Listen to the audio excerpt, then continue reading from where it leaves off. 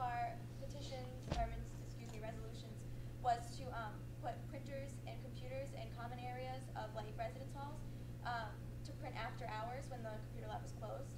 Um, another one was to put the feminine hygiene products in the main bathrooms on campus, because right now there are none, and our campus is sixty percent female, over sixty percent. Um, can you think of another one? As far as this year, we're really kind of, we've only just begun really. Yeah. We have a lot going on, and that sounds weird considering we're in November, but when there's, there's not a lot of people on Parliament still, and they're all very new, so they're still developing their ideas. Um, we did have one for an ASL interpreter, which we're working on disability services policy, and that's something that Rob actually brought to us, and it actually said, shed some light on things that we need to take care of as far as our own policies are concerned. Um, feminine hygiene was, products was passed the same day, and it's more an issue of cost. Right now, we're working on a bus shelter, uh, bus shuttle project Yeah, with the actually, college. that's I an get some information on that. Uh, we do We too, could- we were at the yeah. RIPTA meeting, so we were gonna talk about it right the now. shelter, not the shuttle. The shuttle? The shuttle bus tomorrow. Yeah. Yeah, it's, what's gonna happen starting tomorrow, tomorrow and Tuesday are gonna be trial periods, and it's going to officially launch on Wednesday. Um, but RIPTA is providing us a shuttle system to go around campus. Um, it'll be like fifteen minute intervals, I'm assuming at nine stops. Some stops will only be drop-offs, and some will be both pickups and drop-offs, depending on the flow of traffic. So that's what tomorrow and Tuesday are for, to, to see what kind of traffic flow we have. Um, one stop Is that is, indefinite? yes, Yes. going into effect tomorrow. It, okay, my dad works for RIPTA, and everything was still contemplating No, that. it's definite as of tomorrow. Yes. Yes, Rob? It, it, not Tuesday. No, they're gonna run it on Tuesday. I Oh, was they're told. gonna run yeah. it, even though there's no classes? Oh. Does Yes. it cost any money?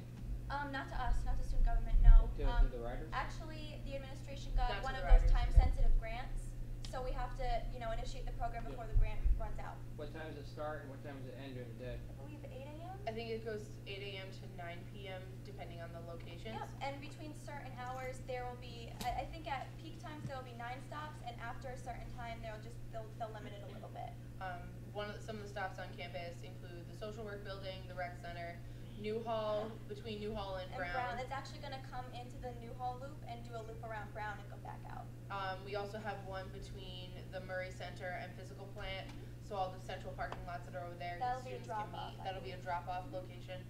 There will be, um, one at JP Adams Library, Yep, behind the library. And the then- Softball field. there will be one by Roberts Hall, and one in A lot. Is there a map of this anywhere? This will be posted somewhere. Probably I by can- I tomorrow, can it'll be promise. posted somewhere online. I have a map, it's in my dorm room. But it's, it starts in A lot and goes around the campus, or it starts at Roberts and then goes to A lot, goes to the Sherlock, not the Sherlock Center. Social work Social work building. building. Does it Rec center. and drop off there? I know The that they social work do, building, yeah, I think so. I think, I know that they're definitely I'm doing very- Their pickup. concern with the social work building was that, um, it was night. actually a specific concern. Uh, at nighttime, the people walking back to their cars wherever they parked, and I guess it's not very well lit, or campus No, police is not really around very much. was told not So, yeah, so one of the concerns was actually voiced by your department, and you will have the shuttle stop now. So wherever you parked your car, you can get a shuttle ride. And there will be signs stating where the shuttle stop is. Um, we're in the process of getting those made, so it's just in the That'd works. be cool. It's gonna be fun. So, those are some of the things that we're working on this year. Um, is there, there's, I know that there's some people in the room that have specific concerns, so I'm gonna shout out to you right now, Alright. cause you came in here with a mission, so I'm gonna let you have it. And your name is Laura, right? My name is Laura Howard. I live in Suite H. Okay. Um, this is something that literally every single person I have talked to has had a problem with. Everyone. There has not been one person, including people, like everyone who lives here has a problem with this. It's the sweet trash bins that got eliminated. I don't know why, for what reason, but last year, I know living last year on campus, we were allowed to bring our trash into the suite, and I don't know, like the maintenance workers would just take it out themselves. We would not have to go to the dumpster ourselves and take our trash out. This year, there are no trash bins in the suite, and we have been told over and over again that we're not allowed to even bring our own trash bins and bins into the suite. And every reason that I've heard out of every, you know, RA or hall director has been, well, it makes the suite look cluttered and it makes this look, it's gonna make everything unsanitary and blah, blah, blah. Well, now it's in our rooms and we have to come back to our rooms every day and deal with the smell, Do other residence halls have trash bins in their suites, or is it just? It's not just this hall. New New hall does not.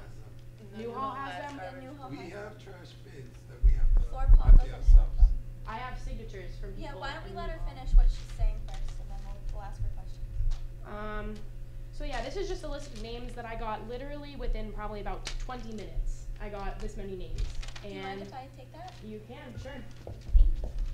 And um, quite honestly, I know that this isn't your fault, and I know if you guys, you know, have no control over it. But I pay a lot of money to go here, and I know that what I'm saying right now, almost literally every single person that I've talked to feels the same way.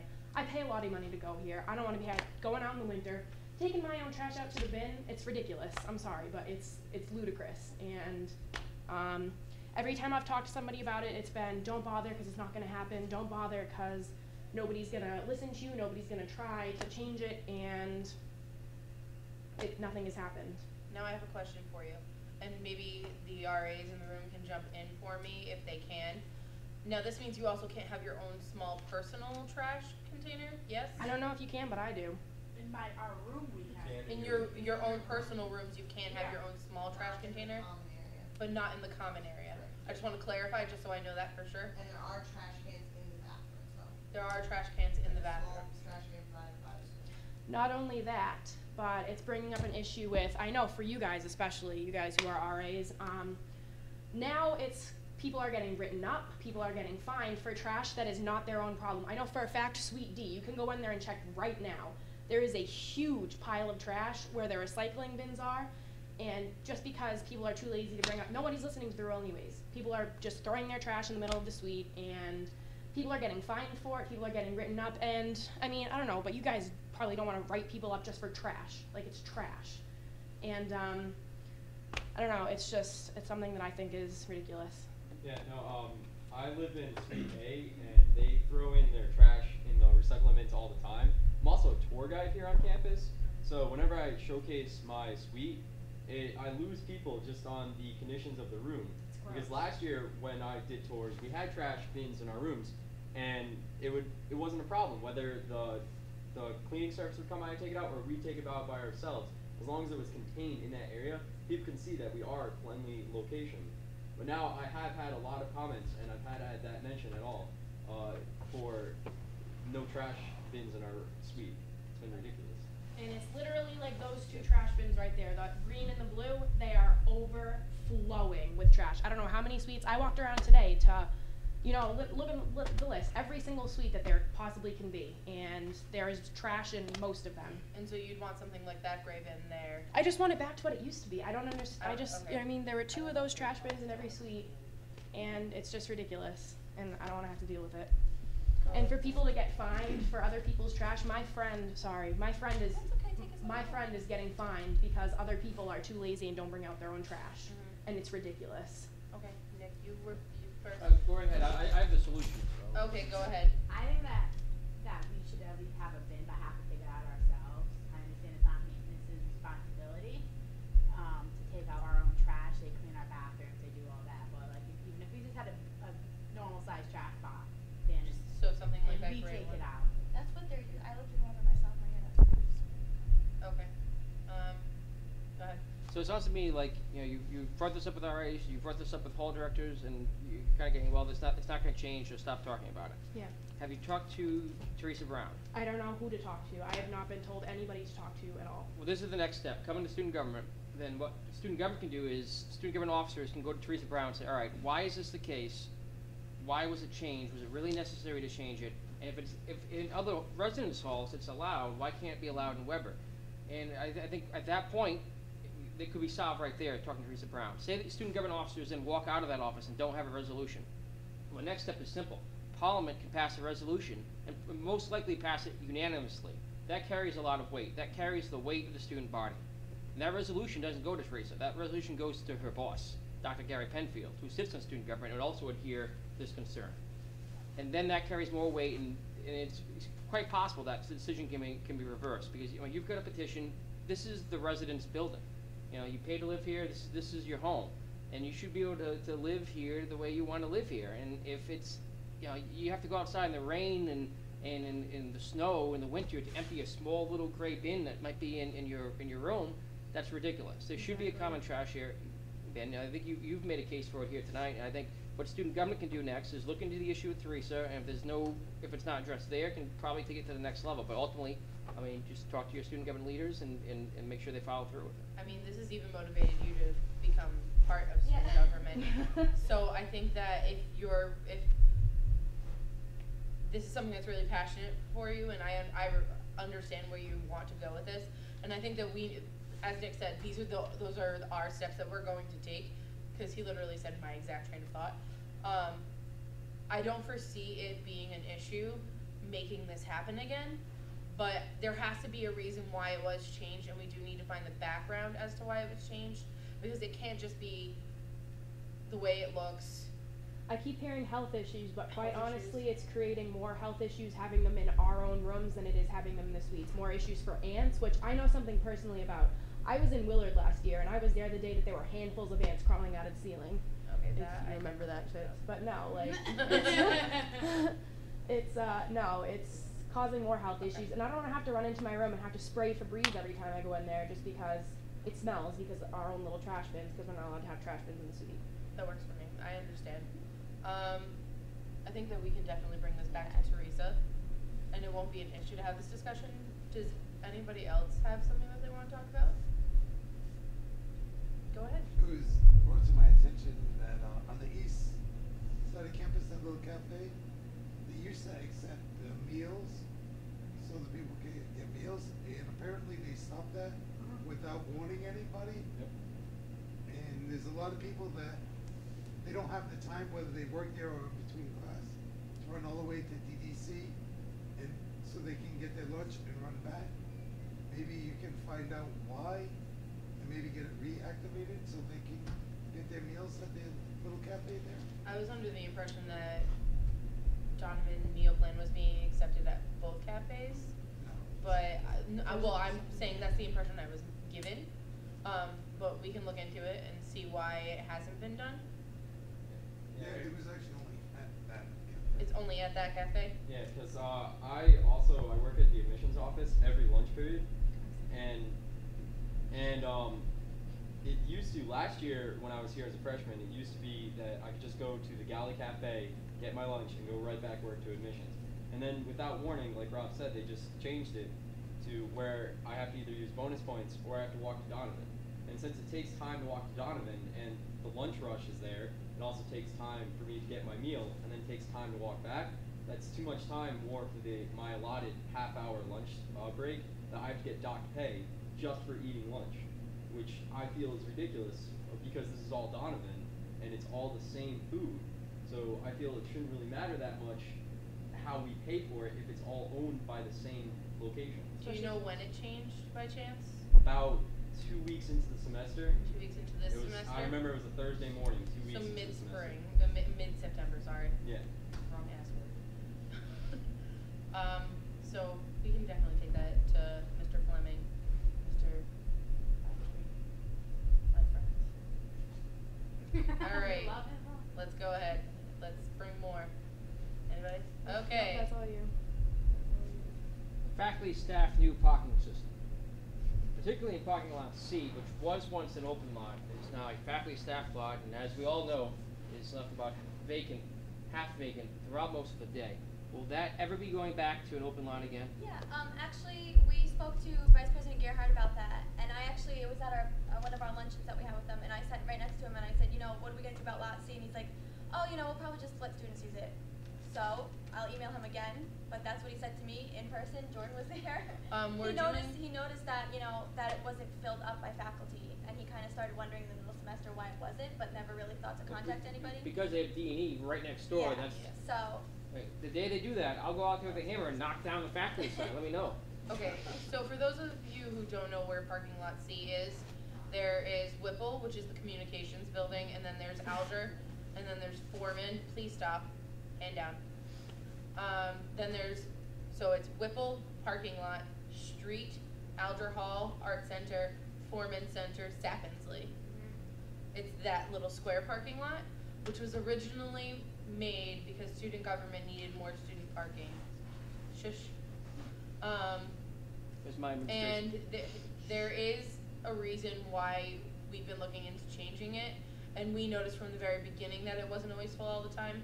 Our deputy speaker, who can't be here tonight, is supposed to be working on a parking, some sort of parking Yeah, resolution. His, well, his idea, well, he was directed to sit with his committee at least a couple hours during the day, work on weekdays, and kind of count the cars as they came in and what kind of peak times there were and what times that the spots were empty. So he's supposed to be doing that. So we already kind of have a uh, project, like a study task being force. done. Um, but I believe that something's being put on the agenda for Wednesday. Yes, No? actually, Yeah. yeah, he is. There's an an agenda item for this Wednesday to talk about changing that parking lot over. But I don't know about you guys, but as residents, how do you feel about being in a resident-only parking lot? I think it's honestly, I think it's the parking situation is really stupid.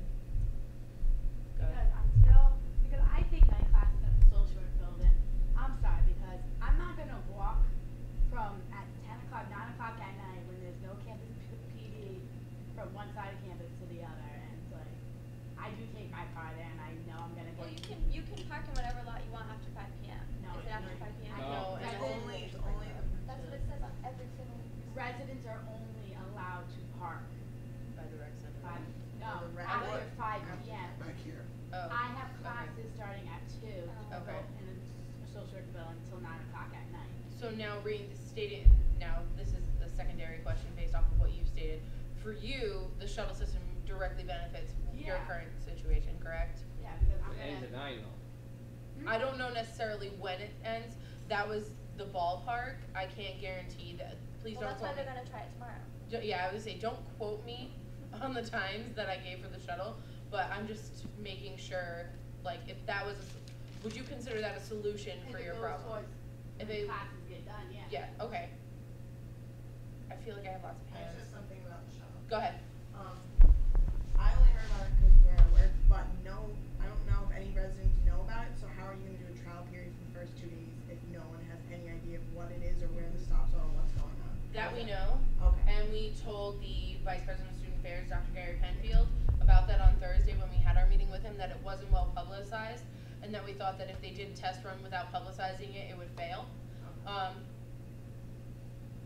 we'll see where that gets us. I think, I think the trial run, um, I was on the parking and traffic committee for six years. I- I think the, um, the trial run is more so, so they can judge the traffic patterns and the location of the stops based on traffic, make sure they're not backing up traffic while the bus is stopping. So even if it's not being utilized, it's more for them to judge you know, where the shuttle's going and if, you know, if it can get through certain areas at certain times. Cause they're doing this no matter Yeah. what. Yeah, that, Like, like, yeah. over there, but that's D and E, at two o'clock and four o'clock, all the commuters leaving, and that, those slots are jammed, that shuttle could be stuck in that, so I think they're trying to figure out you know, how they're gonna drive the shuttle around. And there are eighteen seated positions in this shuttle, two handicapped, sixteen seated for Room for 24 everyone else, and standing. room for twenty-four total standing. Handicap, you mean wheelchair accessible? Yes. Okay. There's two spots where they can lock the wheelchair in. And there's supposed to be ADA certified drivers, so they know how to properly, uh, secure the wheelchairs.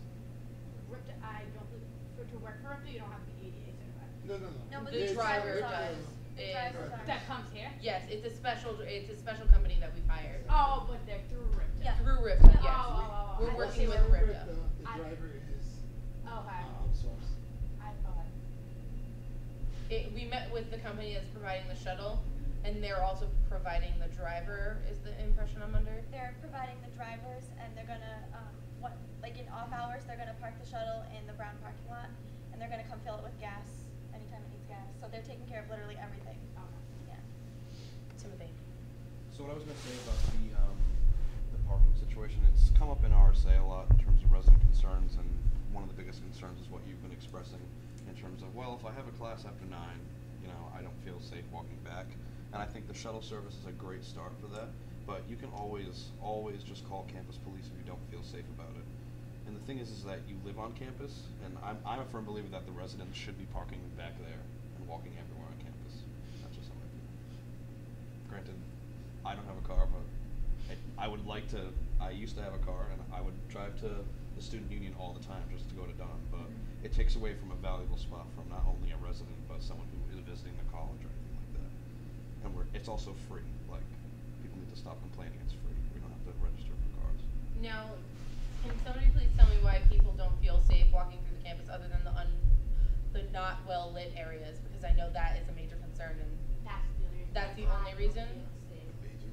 And some people, like I know from being an RA, some people's concerns are they push the blue buttons before and it takes campus police so long to respond that that makes them feel so uncomfortable. They feel like, okay, those options are there, but they're not being utilized the way they should be. So And that's what makes them feel unsafe. so they feel that there needs to be a quicker response time to the sa- blue safety lights. Alright, that's something that we can take back. Um, and feel like there's enough of them. Yeah. But- But but if they don't work, then there's no point. If they don't work and they're not getting there on time, then no one's gonna wanna use it the first place. Alright, I'm gonna point to people and then I'm gonna go. I just have a comment on what was just said. Go ahead. As far as East Campus, I know it's not right next to the, all the buildings in East Campus, like Building Seven, Social Work Building, but parking lot A, there is considered open parking, so campus police won't ticket there no matter what kind of hang tag, what kind of sticker you have. No. No. Park Residents, A? can't park A. there. Residents can, every- if you have a it's- resident sticker, you A, can. A lot is walk open out. parking for anyone. It is. But that Yeah. open parking does not mean residents. Yeah. Yes, it Residents does. are only I've allowed to parked park there back like there. Anybody at but least three residents. times this You just month. haven't Campus police does not ticket that lot though. It does.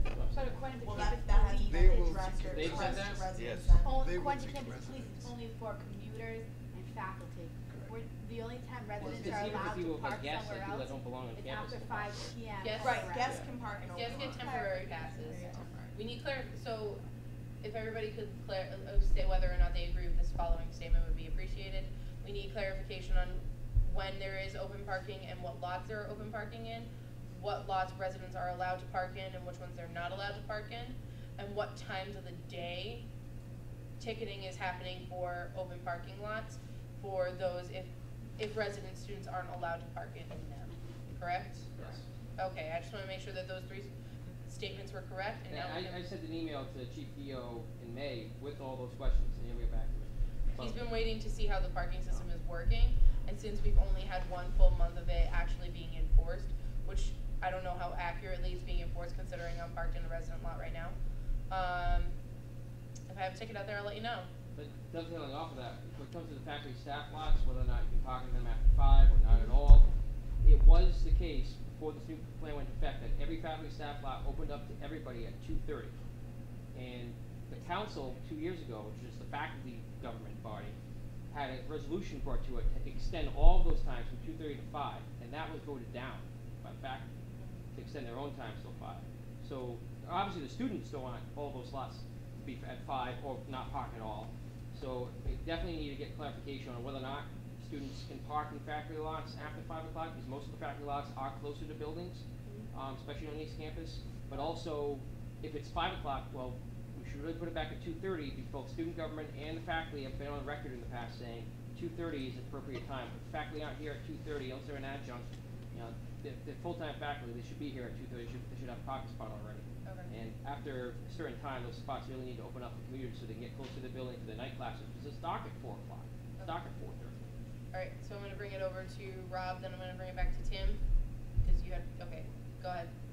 A lot of the residents in New Hall, as you know, are nurses or social work, Mhm. and they have to travel it. One of their major concerns also is during the weather, inclement weather. If they have to walk that long walk, even during the daytime, when we have snow, heavy rains, Okay. So, this is partially concerned about snow removal? no, no, Uh, uh, please you were clarify. asking Oh, okay. reasons. Sorry, okay, thank you. I was just making sure that that was, No, no, it's just. some we get so far off topic? Yeah. Uh, thank you. Alright, hold on. If, does it directly relate to what Rob has to say? About snow removal. We will get there. Tim? Um, I'd like to talk about campus police, so I don't know if you wanna do that now, or if you wanna. Okay. We're, I told him, It's related to we're gonna go to snow removal, campus police, Mine's related to parking. parking! um, just about like why I would prefer to be able to park in open lots. I'm an education major. I'm off campus this semester for four of my classes because I teach for four of them. So when I come back, the way the practicums work, or just because of the Providence traffic coming back, I end up being late for three of my classes every single week because I have to park here and then walk all the way to my class. So it isn't it not like just just if some of the open lots were available. Like it the would- gray lots. Yeah, that, That, would. that would even benefit you. Right. Okay. Mhm. Snow removal. They, I, I broke, I moved, I've broken my foot many of times living on campus, and campus police, I've called and had them pick me up. It's taken like ten minutes to get there, and I'm two minutes away because I can't walk on the sidewalks in the street. There's not done like I, you know, I'm on crutches and like there's ice, and I understand they can't do it all on campus, but there, it has to be a path. We shouldn't be having anybody in crutches and walking in a wheelchair. We have a high, um, spe- um, community of spec, like, um, disabilities, have special needs and all forms of disabilities, and if they're gonna have to try to see where the sidewalks are and like going to the student union, you can't even tell half the time where the grass is going down the slope and where the sidewalk is, and it's gonna cause more injuries for everyone. So more, better snow removal on sidewalks and pathways? Yeah, yeah. Okay. I, I agree with that. Alright. Campus police. Um, so as an RA, obviously, and my other RAs and Kyle can attest to this, that we deal with campus police on a very frequent basis within the residence halls, whether that's due to alcohol violations, anything in terms of that. If we need them, we can call them. It's great that they are located in Browne Hall because essentially they can be here within two minutes, regardless of where they are. Um, but I've also noticed that campus police tend to gingerly get their cars to drive over to New Hall when they could easily just walk there. Or if there's an emergency in suite like I had two weeks ago and I needed uh, someone right away, it took them about 10 minutes to get there. Now, they pride themselves on being able to have a quote unquote two minute response time, which is what Lieutenant Wilson has If repeatedly you guys said. wanna take a seat up front, you're more than welcome to join, so you don't have to sit back on the radiator. Okay, we won't put you on the spot ever There's again. Drinks over there too. Alright, go ahead, Tim. Um, and Lieutenant Wilson has said that, you know, we have a two minute response time. If you need anything, please call us because we can be there anywhere on campus within two minutes. Um, from what I've heard from just two people here today, they've called campus police twice, and apparently their new response time is now 10 minutes. Um, so I think it is our, I think it would be the duty of student community government to challenge campus police's, um, I guess, what's that word I'm looking for? Call response time. Yeah, response time. Um, and it's and it's not it's it's not just their response time. It's it's it's their attitude towards students in general that I have a big issue with. Do you feel like it's hard that they are disrespectful towards students, that they are unhelpful with students? I need more specifics. In terms of, it depends on who you are. Because for me as an RA, they're gonna, they're obviously going to respect me because I have a position on the resident side of campus. They deal with me a lot. But when it comes to normal residents, they really, they don't know how to talk to residents properly. And that's why I was so upset when we got rid of the third shift person that dealt, with just resident students. Like, there's no reason, I have, I have no idea why, that we don't have someone on that shift. There's nothing else going on across campus except the life that lives on this side of campus during that time. So, yeah. I feel like their training to be better. Um, certain situations that's happened, I've searched, when they have to search a room, it takes them two searches before they can find something. If they're doing it correctly the first time, stuff should have been found. And like, they're re- trying to get, like you were saying, I, we've had situations with our suite connected to us, and by the time, because of the smell that comes from their suite, by the time they get to us, there's nothing anyone can do. It's all, it's done, nothing can get done. And it's went up in smoke. Yeah, we would have like, we would be here, we would all be dead. Okay, so, Harley, go ahead. Um, just to go with exactly what Tim said, I've had multiple times I've had to call things that aren't just alcohol related, things that are both medical and other things, where it does someone's life is potentially in serious harm, Mhm. and it takes them so long to get there that, and it's really upsetting when the hall director, who is farther away from them, gets here first, and I still have to wait ten to fifteen minutes for them to get here.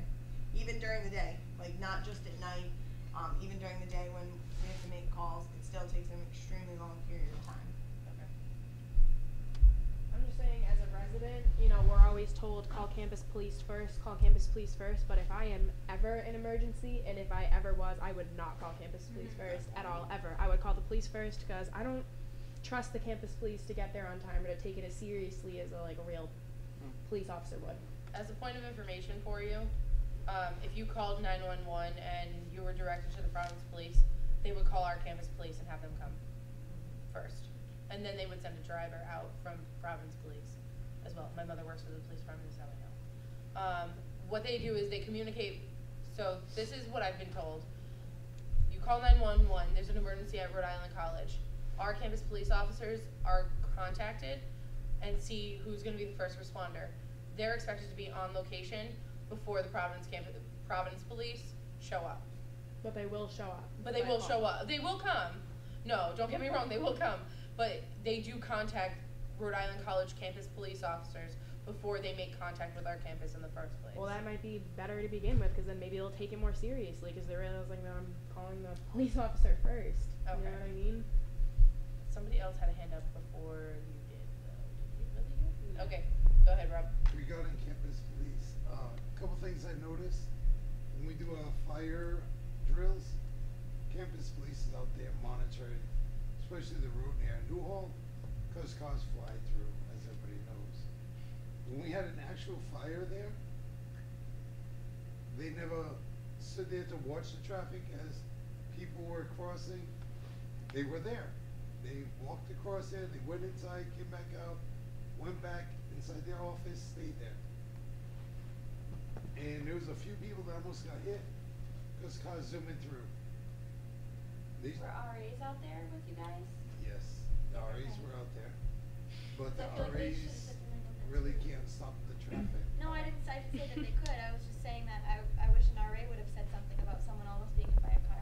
We're gonna go to Tim and Nick after Yeah, but Rob's they were done. telling people to push Here's the thing, I was at, I was at the place, it was three AM, it was a fire alarm, obviously residents were really upset that they're out there, so they were sitting on the curb.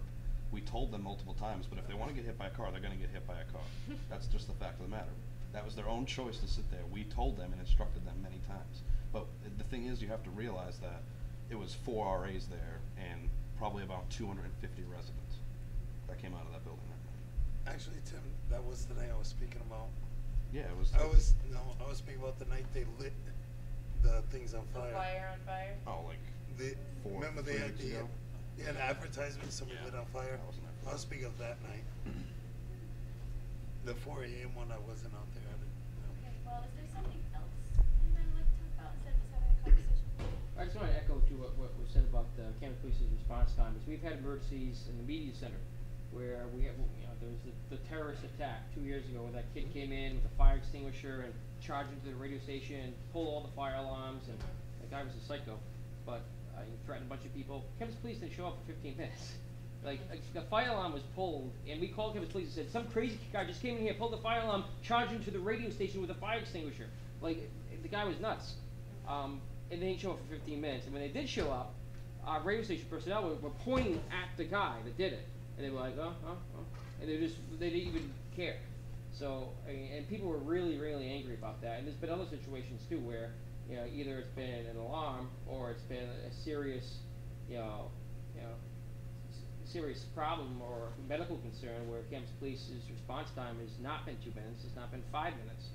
Uh, it's, it's one thing when you call and get a room unlocked and it takes them twenty minutes to get there, that's fine. But when there's an actual emergency, when you tell the dispatcher, you tell the lieutenant on, on the desk, we have an emergency, and they take ten minutes to get there, that's ridiculous, and it should never happen.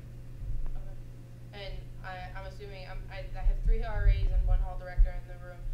Do, uh, does everybody agree with that sentiment, that it takes too long? Yeah, For the mo- especially 'cause they- like, they- ninety percent of the time, it's too long. They advertise saying like, 99% of the call time. us, we have a two Okay. minute percent, two minute response time, and they have never been to one of my incidents in under five minutes, not Okay. once. Alright, I can't really echo the same sentiment just because I've only worked here for a couple months. So, of the things I've had to respond to, it's never been, I've never had to wait that long, but I've only worked here for three months. okay. If you dial nine one one, they take every call as seriously as the next. Mhm. So it's gotta be the same way in campus police, unless it's something small, like opening a door, or my car just got dinged. Uh, Okay, that's different, but if somebody calls and says, that I have an emergency, they need to take that seriously every time, and they don't, they, they're complacent about it. Okay, um. Because they do get a lot of calls, I understand that. Okay. th- Most of them don't, when they get there, don't turn out to be emergencies, but they, they, they have to stop, They get out need of to that mindset. treat them like emergencies? Yeah. Yes. Okay. And you, everybody feels that has dealt with campus police, Mhm. that they don't treat those situations as emergencies, they take them as they come. Okay.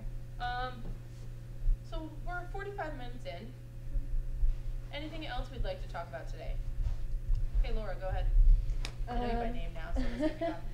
Um, I just want to talk about like, okay, so for probably about the first month of school, there was a broken jar of salsa. I don't know if anyone else remembers this. No, seriously, a broken jar of salsa sitting out there for a month and a half. I'm talking glass, rotten salsa. Like, there's a thing out there right now that's filled with disgusting broccoli and cheddar soup from Dawn like last Thursday, and it never gets cleaned up Mhm. ever. Like that sat out there for like a month and a half, the salsa, and it was bringing it's broken glass like on the ground, and nothing is ever done about it. And I just see it all the time, and it's always around like here, and it's gross and it's not safe.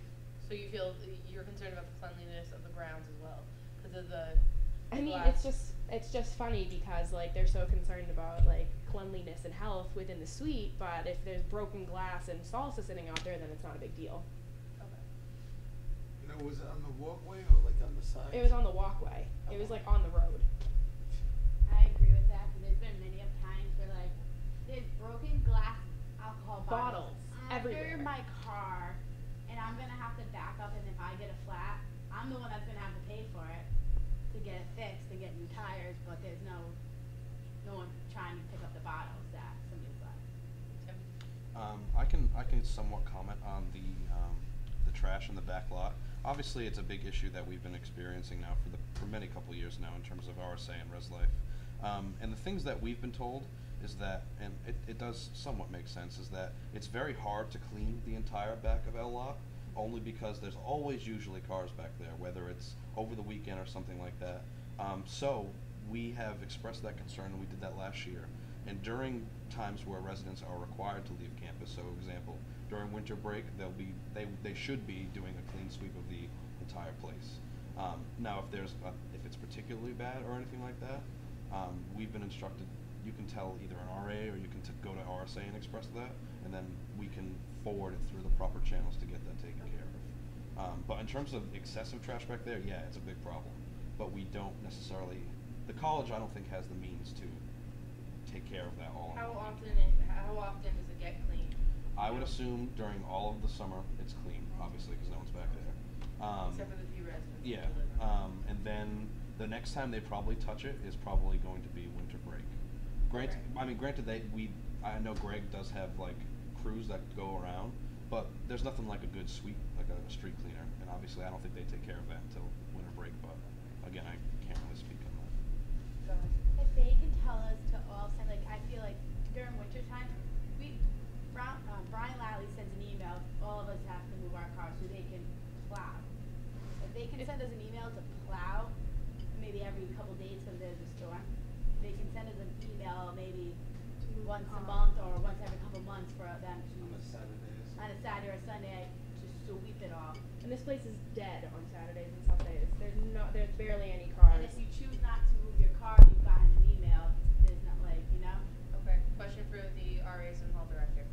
Um, would students who live here on a Saturday find that inconvenient? Yeah, they would. Yeah, they would. Or they wouldn't. ju- They wouldn't put move their move their car. cars. The only reason why they're going to move the, the snow is because they don't want to get snowed in, so they're going to move it. Okay. When do you, is there a time that you feel would be convenient, or would residents just not do it at all? I feel at any point they do it during the breaks because absolutely nobody's here. Okay. Um, I yeah, I feel even if you did it on a Saturday or Sunday or even like a long weekend when like even more people go home, Mhm. there's always going to be those people who either don't get the email because they don't check it in time or something like that. So Know the people all too well. Um, all right.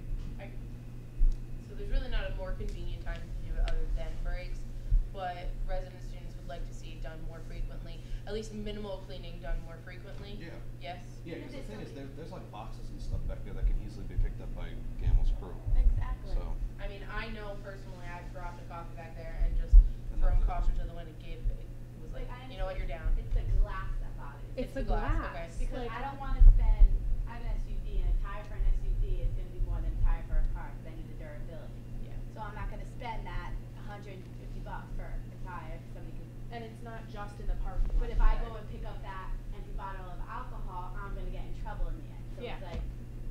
gonna be, who's gonna be allowed to pick them up? I'm also a fellow flip flop wearer, and that's also dangerous Yeah. when you're wearing flip flops. So I understand. I respect that. Power to the people. Um, go ahead, Rob. I had a question. Now, do you think if they did like one weekend where everybody parked across from Sweet in that parking lot, so they could sweet that that would be accepted? Because I know a lot of people would prefer to park over there. Like have a regular schedule, like first weekend of the month, this is the month, this, this is the Yep, week every- it's gonna be. I everybody just, park and Resi- just- I, I, kn- I know I wouldn't do that, and the thing is, I don't think we should set a precedence where it's okay to park over there. I every like, because the thing is, be like, oh, we parked there last Saturday. Why'd I get a ticket today? Like, you know what I mean? No, So but like, if you did one day a month, Yeah, yes, but- everybody parked but there. what, what I'm, What what I'm I'm saying, saying what I'm is saying is that residents be like, well, we parked there last Saturday. Like, I didn't see what the issue was then. But if there's flyers and the RAs announce. But then they're gonna just think, okay, so it's okay that weekend, That why, week, what's the difference What's this the difference weekend? this Why can't weekend? you How just about if we clean it every caution to weekend, the so back every Saturday section? in the park Do the back lot sections. Oh, that could be an idea oh. too. I, I mean, I don't agree with there's having not that it many necessarily cars being here. that having to That's what I have was to be thinking. cleaned every weekend. No. I think that there does need to be more light cleaning. That way, the heavy duty cleaning needs to be done less often. Um, it's something that we can talk to physical plan about. I don't, I don't foresee it being an issue to get more light cleaning done on a regular basis. Because I agree. I, honestly, I, wa- I drove back here, and there like two thirds of that lot is empty they could clean that part of the lot on any Saturday or Sunday, which, granted, they have regular employees And that have two to. thirds is usually where the glass is, right? It's not, Yeah. it's not right in front of the building, it's. It's always It's in the back everywhere. because Yeah. it's the farthest away. Yeah. And like I said, if I could, I would pick up a bottle, but I'm gonna You're- get you're gonna caught get- by an RA of my luck, or some kid security, or a hall director. Why is there a bottle of alcohol in your hand? Because it's in the back of my car, and I don't wanna run over it. Yeah, no, I, I understand. But I think that we all agree, though, that if there was more regular cleaning, that this wouldn't be an issue, correct? Yeah? So we'll have to check and see what we can do about that. Alright, you look like you have another concern. No, I just I don't know. It's just like funny to me that like I don't know. I just find it weird that like they're allowed to like clean. You know what I mean? Like all the lots and stuff. But when it comes to like I know I keep bringing up the trash, but it just bothers me so much that it's such an issue for us. You know what I mean? For somebody to come in and take the trash out. Mhm. But no, yeah, that thing of salsa was sitting out there for like a month. it was gross. We used to joke around about it. Seriously. Save our friends out there. So gross. That's fun. Sounds like a good time to me. Alright, um, any other concerns by anybody else? Open up the floor to everyone.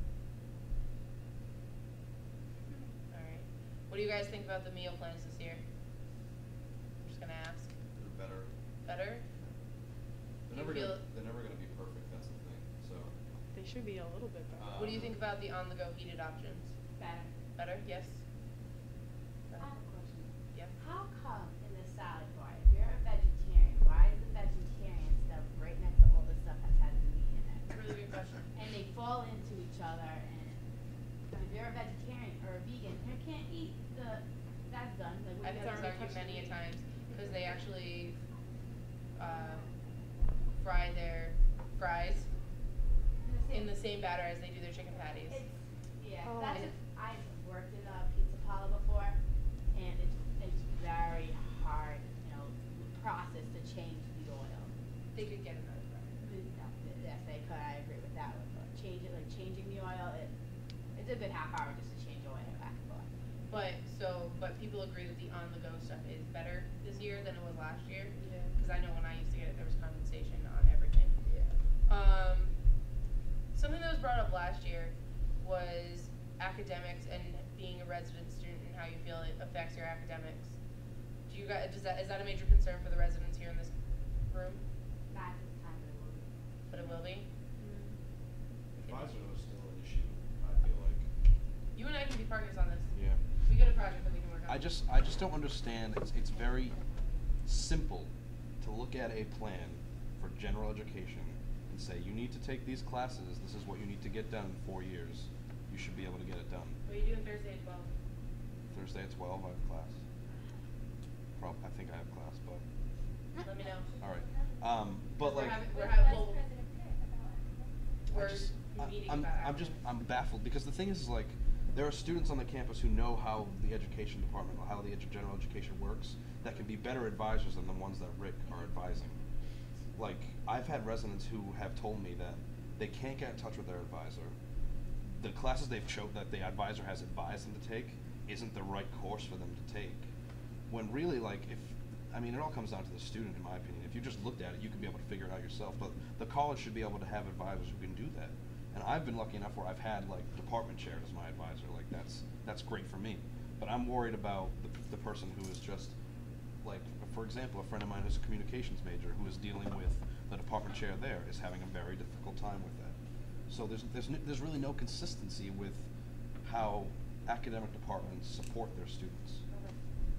And a lot of my friends have just sent an email to their um their advisor like, can you unblock me? And that's all. I've- So- That they, I've, they're I've done that multiple times. They've unblocked you, and then you So- go and pick your classes, whatever you wanna take.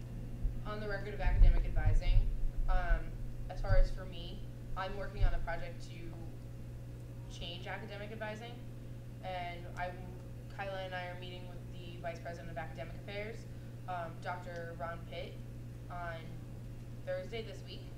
So I can take some of those concerns to him, and I know he knows all of these things. Believe me, don't get me wrong, he knows all of these things. And he is not the person who directly deals with academic advising, but he's going to guide me in the right direction. Um, and I, yes, Does the council committee still exists, a special committee on academic advising? We have academic affairs committee. No, no, or the, the ours, council. uh, the I don't know. council of Rick- they had a don't know. special committee on academic advising, I don't know if it's I still don't believe it still think they do. exists. I think it was when they were creating the, the universal hold that it was still there. Because the universal hold is only about five, six years old. It's not that old. It's only been around, I think, as long as I've been a student here, and that means it started 2008, 2009. Yeah. Ooh. Um, I just dated myself. Anyways, um, so in the time that it's existed, it hasn't had any changes made to it, as far as I know. And the first thing that was changed most recently was the general education requirements, and those are only applied to freshmen, as far as I know. Yes. um, but academic advising is something that's important to me at least, and I know when I was a resident student here on campus, I found, at least for me, my academics were highly affected by my community. So I'm surprised that you guys have no concerns at all. Because I'm, I'm fortunate to have a Good. social work department. True.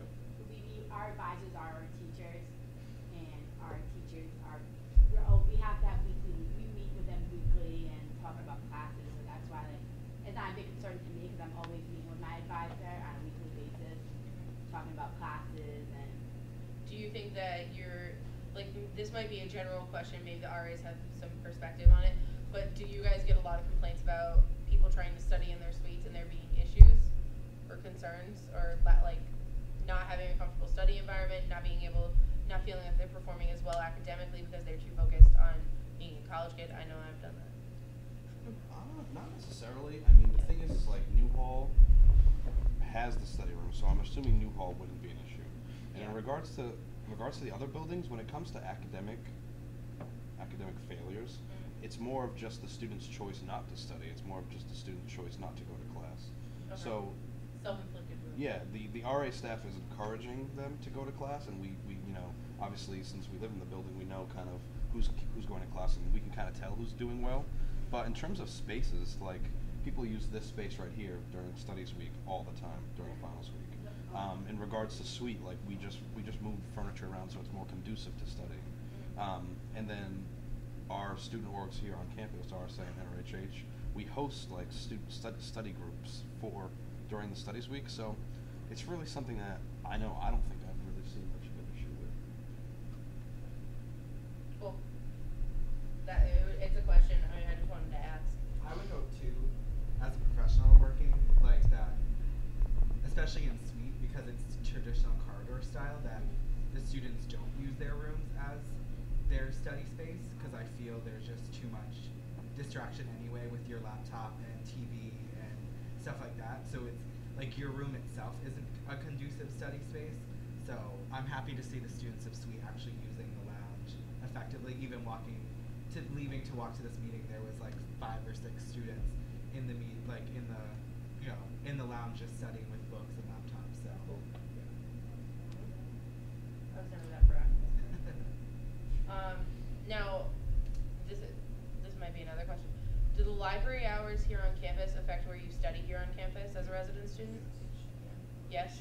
Like, I think for that, there's any way to change that, like PC, because I know half the residents here will go to the PC library because our library is not open or it's not conducive to the times they study because especially upperclassmen, a lot of people are bar, like bartenders, waitresses, they have like later night jobs, so they need something that's open later to meet their needs to study. I agree with you. Two of my best friends were RAs last year, and I would regularly go with them to PC library. I didn't know we could get it. Yeah, well, you're not supposed to be able to, but you can.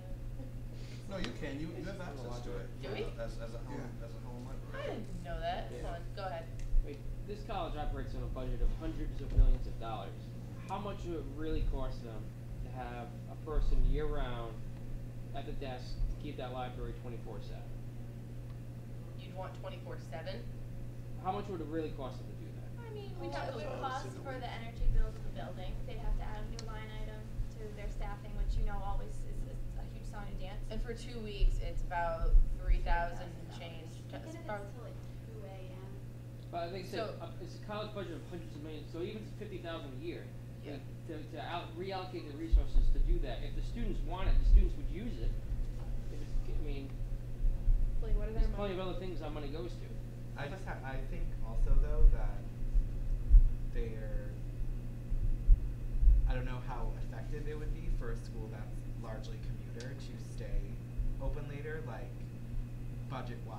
Like, I think a study needs to be done too, as a graduate of Rick and somebody who, as a student here, worked at the library, like, student, the people aren't there late at night, and, um, so I think it comes down to, is it, would it be effective if only one or two people are in the library at two AM, and they have to staff it with X amount of staff people, that doesn't make it Okay. cost effective for the school to keep it open. Cause I, I, I I know from student government, from the two weeks that we do around finals, obviously it gets used a lot more. Um, which you can probably vouch for, that a lot of people are in there the, like two or three weeks before finals. But even extending it, maybe you know from personal experience working in the library, do you feel that at ten o'clock it's dead, or do you feel it like, well, let's, nine thirty, it's dead? Well, I don't work there now. I Well, used to. Did as a student, but yeah, it was. You know, anytime past pretty much, I felt like eight o'clock. It, there, you know, I felt the people working at the library outnumbered the amount of people in the library. Interesting, okay. Let's I think it might be a little bit different now, from my, from my personal experience and knowing the people who spend a lot of time in the library, Yeah. all the time. And I'm not saying it's a bad Yeah. idea, but I think it's Something to look at, Yeah.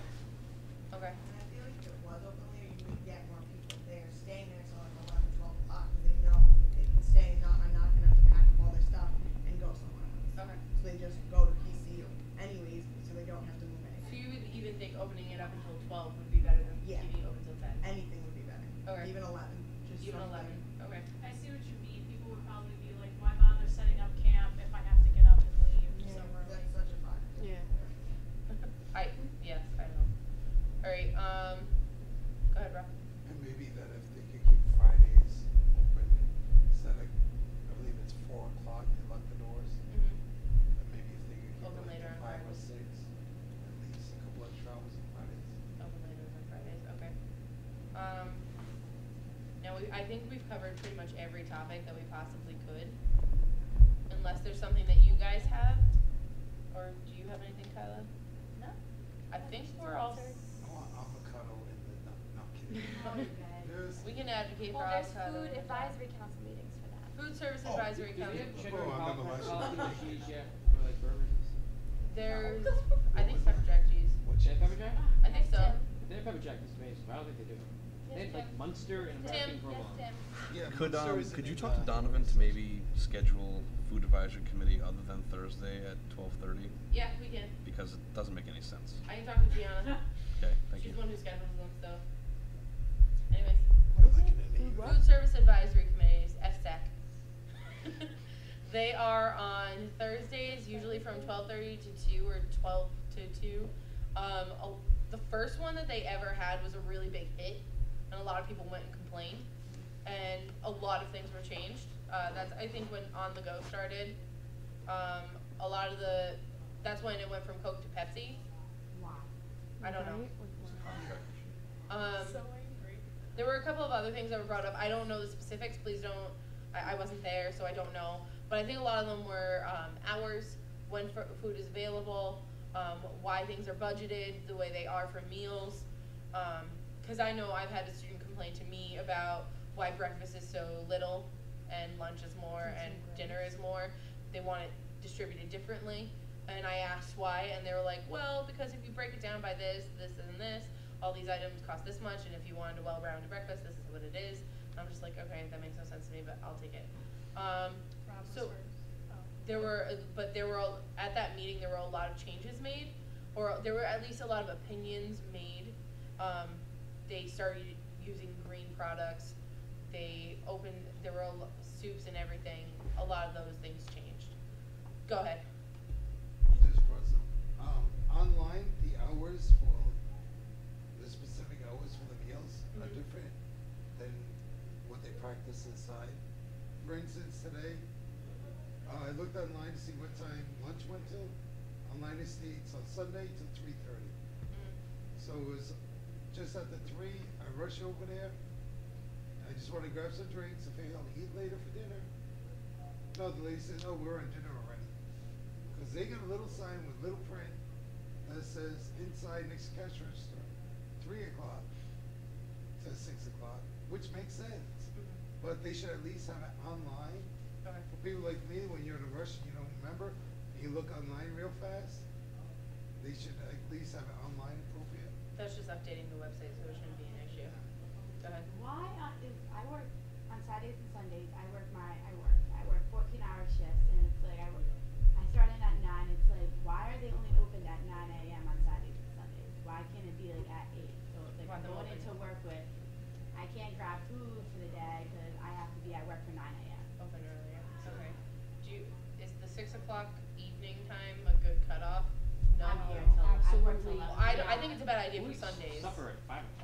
Absolutely. I think it's a bad idea on Sundays, in my that's opinion, at such a least, risk. No, because I more don't- residents are here I on know, campus. yeah, I. No, like I'm sorry, but like if there are classes that are going until ten o'clock at night, then there's, then there should be food available when people are getting out of classes. I'm sorry, but like, like I'm not like just to have like dinner from like what is it three thirty till seven thirty. Like seven thirty is ridiculous. This is, I'm sorry, but this is a college campus.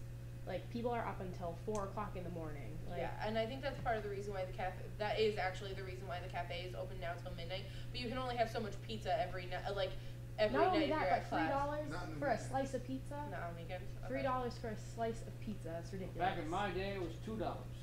And what if you run out of bonus points? I mean, Yeah. They should be able to accept board at the other cafe as well. exactly. Okay.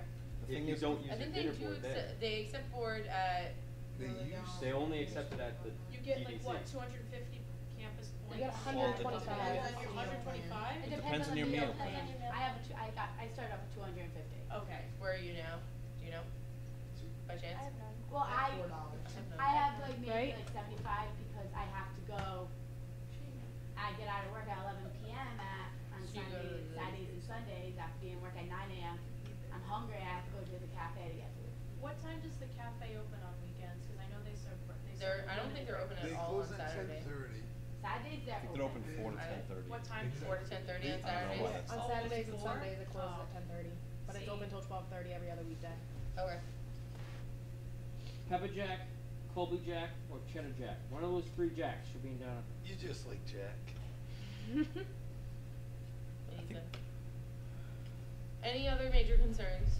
What about Dale, Jack? If there aren't any major, major concerns, I thank you all for coming. We all appreciate your participation. Take food. Take any snacks, beverages you'd like. If you can't go to the dining hall, that's where you can get some snacks for the evening. All right, have a great night and thank you for coming and your participation was more than welcome.